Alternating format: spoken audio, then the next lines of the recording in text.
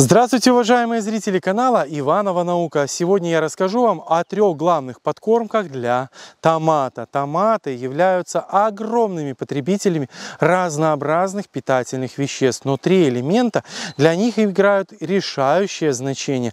Это калий, это кальций и это магний. Томат наряду с картофелем являются самыми большими калиелюбами у нас в огороде. Без калия урожая томата не ждите. Дефицит Дефицит кальция вызывает уязвимость растений томата к разнообразным болезням, включая кладоспориоз, фитофтороз, но самое главное симптомом нехватки кальция является вершинная гниль, за которой можно потерять огромное количество урожая. Магний является центральным звеном накопления сахаров в листьях, ведь он входит в состав такой молекулы, как хлорофилл. Без магния хлорофилл не образуется, листья становятся мраморными, фотосинтез прекращается, там томаты делаются невкусными, их навязывание останавливается. Таким образом, обеспечение этими элементами питания являются ключом к успеху выращивания томатов. А, лучше всего все три элемента, калий, кальций и магний, давать растениям по отдельности. Например, в одну неделю можно сделать подкормку нитратом калия. Я об этом когда-то рассказывал в схеме, полной схеме подкормки томата. Кальциевую подкормку можно дать в виде быстрого кальция, у меня есть на канале, либо же можно дать кальциевую селитру. Хотя кальциевую селитру я недолюбливаю из-за того, что наряду с калием нитратом э, будет уже слишком много азота. Между прочим, если азота уже слишком много и ваши томатики поджировывают, то в этом случае всегда заменяйте азот содержащие удобрения на безазотистые. Например, в отношении калия это может быть надзор надзольный раствор, надзольный раствор, погашенный уксусом, не цельная зола, а только надзольный раствор с добавлением уксуса или лимонной кислоты. А, или же сульфат калия. Это будут безазотистые калийные подкормки. А, что касается кальция, это подзольный раствор. У меня такое видео есть. Надзольный и подзольный раствор. Пожалуйста, посмотрите их. Это подзольный раствор, тоже с уксусом или лимонной кислотой. Это такой быстрый кальций будет.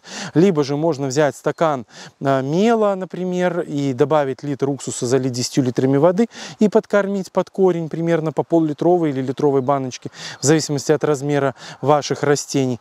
А, либо кальциевой селитрой можно прыснуть по листу. Что касается магниевой подкормки, то точно такой же фокус, как с мелом и уксусом, можно проделать с доломитовой мукой, стакан э, доломитовой муки на 10 литров воды плюс литр уксуса переболтать и по пол-литровой литровой баночке разнести по вашим растениям по влажной почве. Либо же взять магниевую селитру и магниевой селитрой проходиться по листьям. Вы можете включать эти три подкормки в программы подкормки. Одну неделю сделали калий, одну неделю кальций, одну неделю магний, потом опять калий, кальций, магний. И таким образом, чередуя эти подкормки, полностью обеспечите а, ваши растения необходимыми элементами питания. Но вы можете и объединить все три подкормки в одном ведре. Но в этом случае необходимо помнить, что чтобы не конфликтовали ваши подкормки друг с другом, вам необходимо использовать такой препарат, как мультибактериальный комплекс.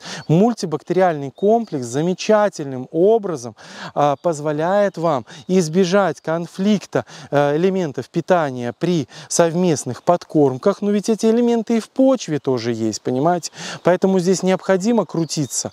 И а, когда вы просто делаете корневую подкормку, вы можете взять пол столовой ложки, а, например, э, кальция какого-нибудь кальциевой селитры, пол столовой ложки калия сульфата и пол столовой ложки там магния сульфата. Для томата вполне нормально нормальное удобрение. И добавить 100 мл э, мультибактериального комплекса. Все это переболтать и по пол-литровой баночке разнести по влажной почве по вашим томатам. Выполняйте такую подкормку раз в две недели, и вы полностью обеспечите ваши томаты отличным э, питанием и отличным урожаем. Что ж, не забудьте об этих трех элементах. В каком бы виде вы их не давали вашим растениям, главное, чтобы вы им их давали, особенно в период начала налива первой кисти. На этом я прощаюсь с вами.